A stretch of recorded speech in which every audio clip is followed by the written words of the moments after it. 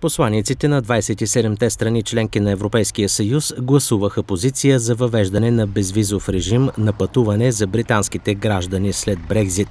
Това се посочва в изявление на съвета на Европейския съюз. Посланиците решиха, че след Брекзит гражданите на Великобритания, пребиваващи в Шенгенската зона за кратко време, 90 дни във всеки 180-дневен период, трябва да имат право на безвизово пътуване.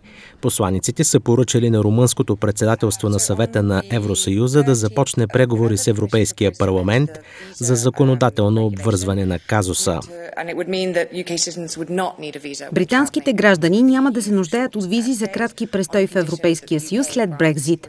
Това ще се случи при условие за реципрочност. Британското правителство заяви, че няма намерение да иска визи от гражданите на Европейския съюз, пътуващи в Великобритания за кратко.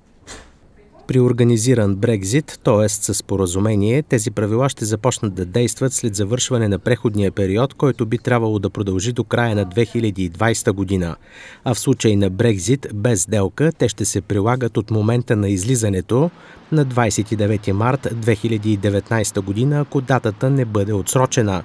В документа за безвизовия режим Гибралтар е означен като колония на Великобритания, което разгневи Лондон – документа се въвежда ново разграничение между онези, които живеят в Великобритания и онези, които са граждани на Гибралтар, британска отвъд морска територия, която сега е в Европейския съюз.